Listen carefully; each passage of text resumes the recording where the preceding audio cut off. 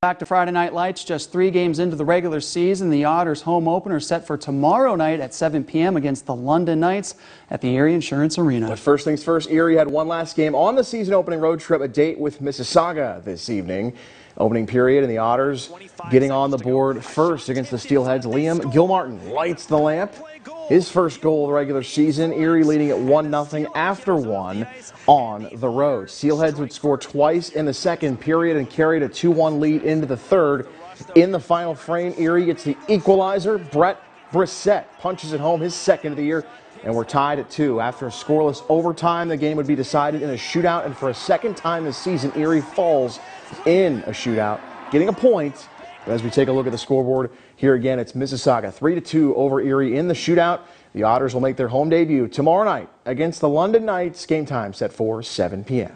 Women's hockey from Mercyhurst as they hosted another top 10 opponent, this time entertaining number 10 Clarkson at the Ice Center for a weekend series opening period. And it's Darcy Lappin lighting the lamp.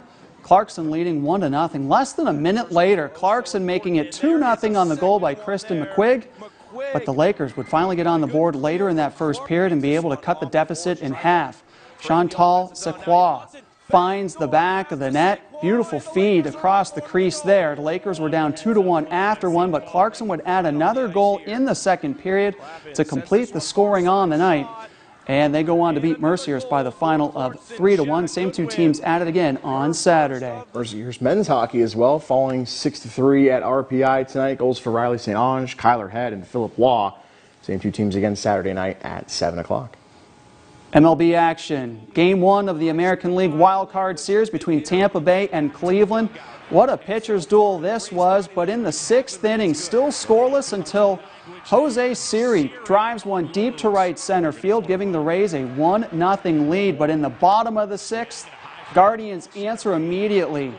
An MVP candidate, Jose Ramirez, hits a two run home run to practically the same spot. Cleveland with its first lead at 2 to 1. From there, it was all Shane Bieber. He was brilliant. He would go seven, two thirds innings, allowing three hits, striking out eight.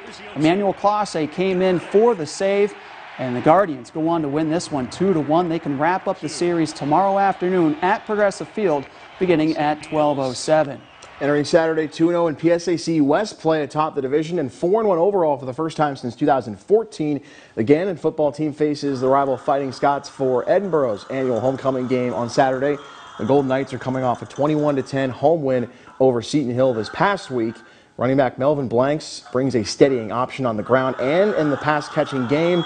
But the biggest storyline for the program involves redshirt junior quarterback Corey Curtis' availability as he's expected to play, but Curtis was rolled up on in the first half against the Griffins, finishing that contest for showing plenty of toughness heading into another big divisional matchup on the road everyone on our team knows he's a tough guy, but uh, that hit on Saturday looked pretty bad. You know, looked like that would be it for him, and and uh, he didn't he didn't miss uh, even one play. So um, he's he's a he's tough mentally, physically, and um, and obviously Saturday was proof of that. I don't want to let my team down. Um, I'm playing for something different this year. I'm playing for Dwayne, um, so I, I, don't want to let him down. So I'm just doing everything I can to just be out there on the field and make them proud. You know, my guy's a soldier. Uh, that's my guy. Corey is true. Corey truly is a warrior.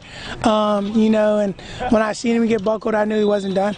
Um, and you know that shows a great part of not who only who he is as a person, but who he is as a leader. I'm so proud of him. After the game last week, I ran up to him and said that's the way to finish the game. He did a lot for this team, and um, we just need him to continue to fight for us. And if we if he continues to fight, we can just grind it on defense and we can win some ball games. All right, here's the local slate. Gannon at Edinboro at 2 o'clock tomorrow. Mercyhurst visit Slippery Rock at 6 p.m. Allegheny Division 3 at Geneva at 3. In D1, Pitt, a 3.30 home contest in the ACC against Virginia Tech. Number 10 Penn State open this weekend. And we'll be right back.